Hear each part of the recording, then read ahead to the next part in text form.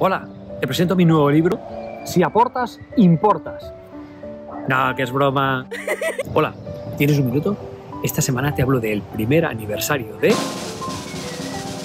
Si no aportas, no importas. Efectivamente, parece que no, pero ya lleva un año en el mercado. Y durante este año he aprendido muchísimas cosas que me gustaría compartir contigo por si un día te animas a escribir. Ahí voy. Primera, el reto no es que te compren, es que te lean. Segundo, el título es importante, no, muy importante. Tres, el marketing no acaba nunca. No pienses que al entregar tu manuscrito a la editorial, la cosa se ha acabado. No seas ingenuo.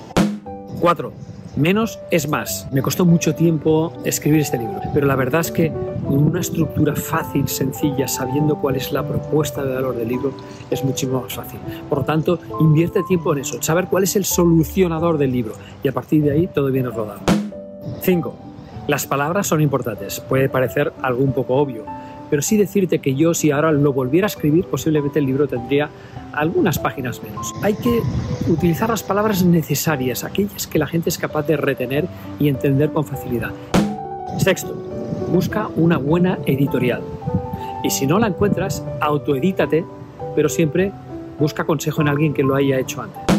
Y séptimo, recuerda que tu libro no se dirige ni a tus amigos, ni a tus colegas de profesión, se dirige a tus clientes. Tenlo siempre en cuenta.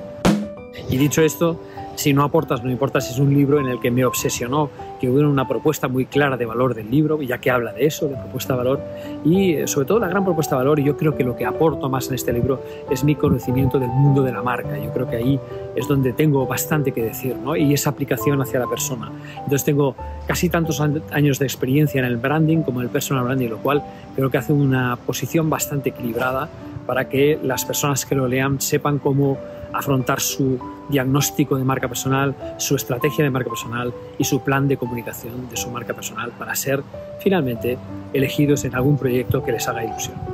Bien, te veo la semana que viene.